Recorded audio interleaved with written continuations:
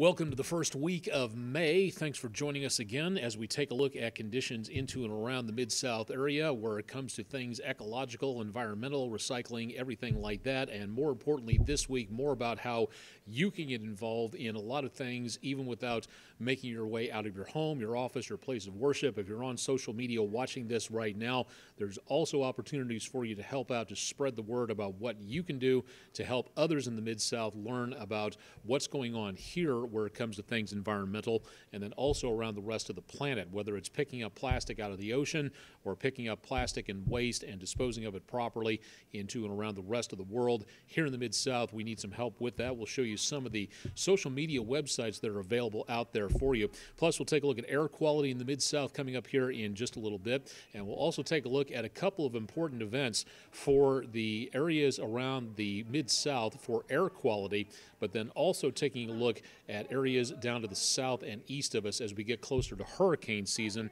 It's an environmental thing as we watch again storms get more numerous and stronger, and we'll talk more about that coming up here in just a little bit. We will also talk a little bit more about Asteroid Day. That's coming up in 54 days on June the 30th, the anniversary of the Tunguska blast that happened over portions of northeastern Russia back in 1908. And if you haven't heard about that, or Asteroid Day. Stay tuned for more, and we'll keep you updated on what we will be looking for from that from the United Nations coming up here in just a little bit. Starting off this week, as we always do, again, keeping an eye on what's going on with air quality into and around the Mid South, but then also what you can take a look at where it comes to things like hurricane preparedness. It could be a very active season coming up.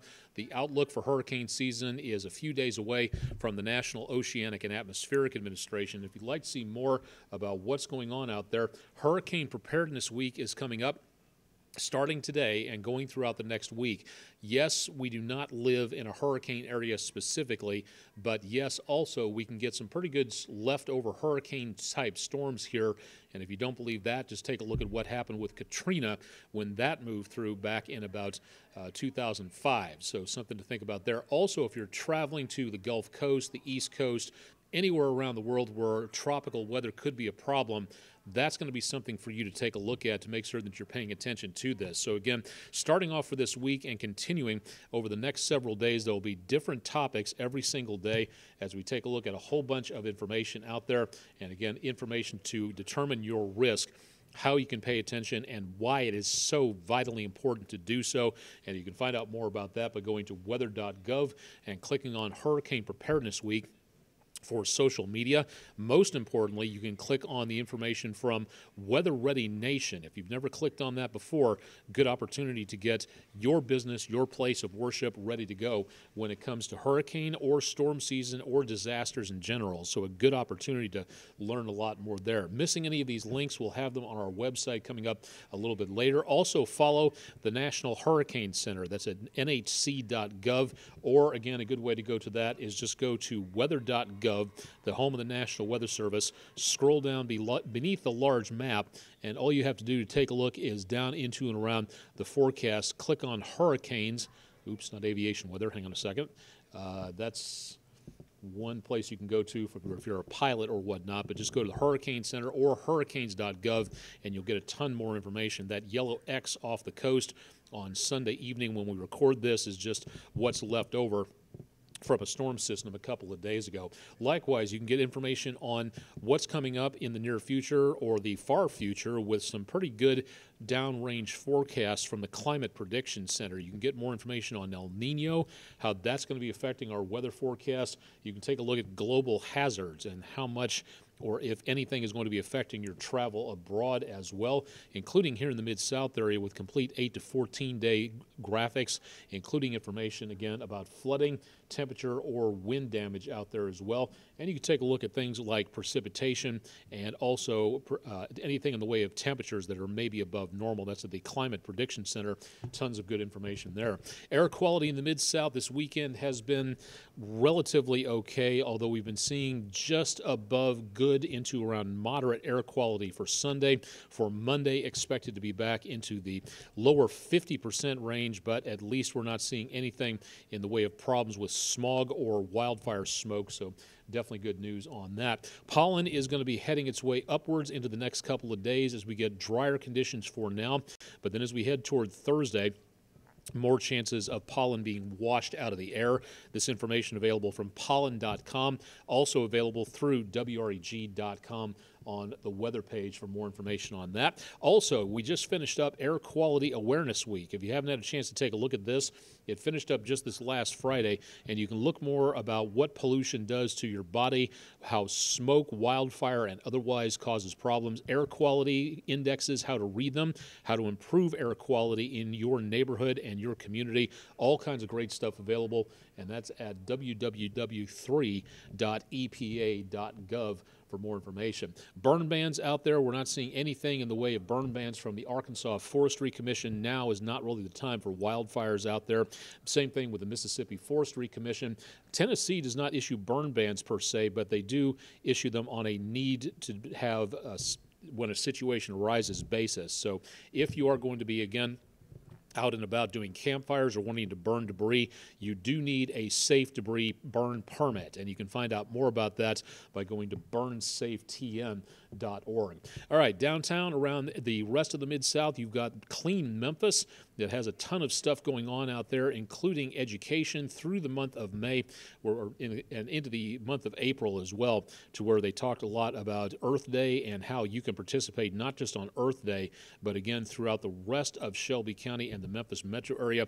You can find your zone by clicking on the button and finding out more about what's going on in your particular community over various locations, including Midtown, downtown, into Collierville, back into around Germantown, and into around around the rest of Shelby County and the Memphis metro area. You also can follow them on Instagram. You can go to Instagram.com, clean underscore Memphis, a good opportunity to learn more about what they've been doing around the Mid South, collecting hazardous waste, sprucing things up, cleaning up trash around the Mid South, and more importantly, getting students involved in what goes on out there. Same thing from five pieces a day. You see it it's somebody else's problem. Well, technically, it's everybody's problem. So if you have the opportunity to clean up the plastic, now's a good time to do so. So you see the plastic, try again pledging to pick up five pieces a day and see again, hopefully things clear up and maybe that'll inspire other people to do the same. Memphis City Beautiful also on Instagram with a lot of great programs out there, including cleanups, recycling, and again, all kinds of great athletic events coming up as well. Back into the area of the Sierra Club, you can get there again by Instagram, seeing a lot of what their offers do, including here in the Mid South area. The Chickasaw branch of the Sierra Club in Memphis and Shelby County has their own page and a great deal of information there. Wolf River Conservancy also has their own page.